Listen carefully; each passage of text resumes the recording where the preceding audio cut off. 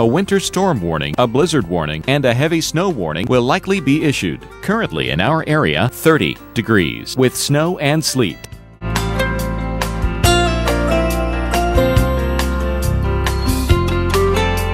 For today, snow bands shifting southward, blizzard conditions, high 31, 8 to 12 inches of snow and ice expected, locally heavier amounts possible.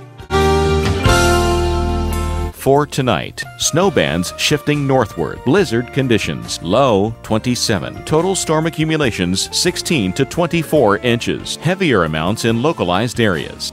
Our local observations. Local observations for our area. Here's your local Doppler radar.